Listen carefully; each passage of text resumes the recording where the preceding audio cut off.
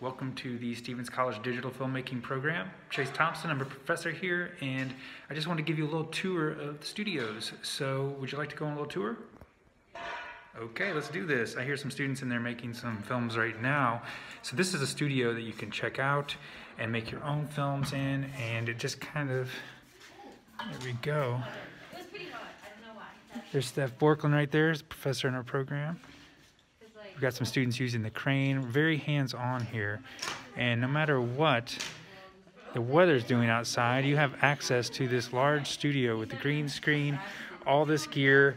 We have another studio over here, Studio B, that's set up. It has some pre-lights, so if you need to do like a quick documentary or a quick photo shoot, you can do some stuff like that. But this is just a place where you can have a creative space to get hands-on in the classroom experience and really hit the ground running.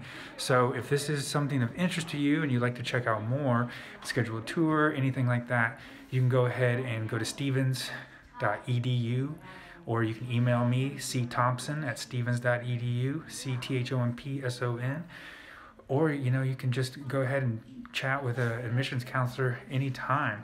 So yeah, hope to see you soon. Let me know if I can help, and uh, you can apply today. Take care.